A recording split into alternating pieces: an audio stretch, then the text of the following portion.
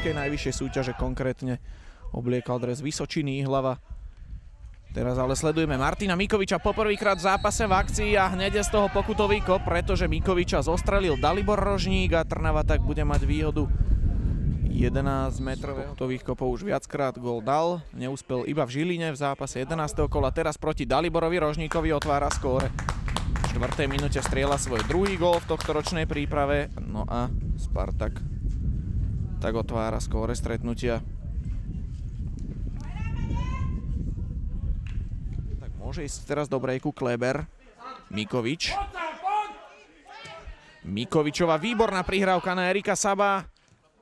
A ten trafil iba Dalibora Rožníka, ale teraz treba pochváliť Martina Mikoviča, pretože tá prihrávka bola naozaj excelentná. Škoda, Erik Sabo teraz nedokázal pridať svoj druhý gol v tomto zápase. A teraz na druhej strane Martin Todd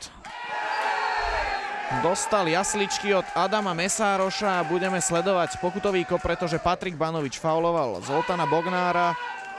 Takže v 21. minúte zápasu bude mať výhodu pokutového kopu aj Veľký Meder. Martin Todt sa tam teraz nechal veľmi ľahko nachytať Adamom Mesárošom, no a Teraz budeme sledovať teda podobnú situáciu ako v 4. minúte na druhej strane ihriska, kedy po faule na Martina Mikoviča zahrával pokutový kop Erik Sabo. Teraz po tom, čo bol faulovaný Zoltán Bognár, môže vyrovnať v 21. minúte zápasu Martin Tušel. A s dávkou šťastia teraz Tušel, teraz už v 22. minúte prekonal Bojana Kneževiča. Aj vyrovnané 1-1. Bojan Kneževič vystihol smer tej lopty. Dokonca tradiční exekútori štandardných situácií. Pripočítať by sa k ním dal možno ešte Erik Sabo a určite Jan Vlasko. Teraz ale centruje Kleber, ktorý našiel iba čtvrtníčka.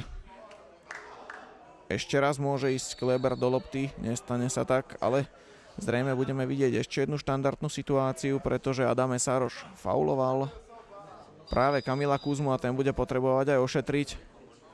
No verme, že to nebude nič vážne, pretože Kamil Kuzma si už toho v tejto sezóne vytrpel viac než dosť v stredu. No bolo by veľmi nešťastné, keby sa dnes opäť zranil, ale zdá sa, že odišiel po svojich a mohol by byť v poriadku. Teraz center Mikoviča. Ešte tam to, daj to 2-1.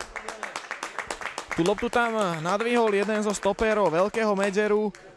No a Martin Todd na zadnej žrdi bol pripravený a v 27. minúte zápasu vedie Spartak nad súperom z 3. ligy 2-1. Veľkým mederom v tomto prípravnom stretnutí v rámci sústredenia v Lipote v 27. minúte 2-1. Sládek.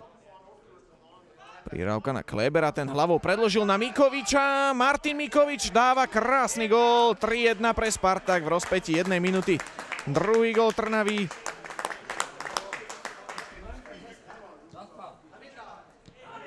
Chybu teraz urobil určite eh, aj Dalibor Rožník, ktorý zostal ako zamrazený pred Martinom Mikovičom a ten ho pekne prehodil.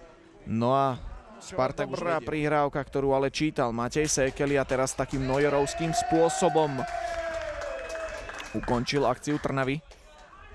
Mesároš. Adam Mesároš má proti sebe Ivana Šránca. Igor Robert a jeho pekná strela, ktorá skončila v rukaviciach Bojana Kneževiča. A Martina Tušela, Marek Sabo nasadil jasličky Nikoličovi, obišiel aj Tóta. Musil, centruje, ešte môže Adam Mesároš zakončovať. A tu už bude Kneževič, ešte ale šanca, pretože striela. Igor Robert a výborne Bojan Kneževič.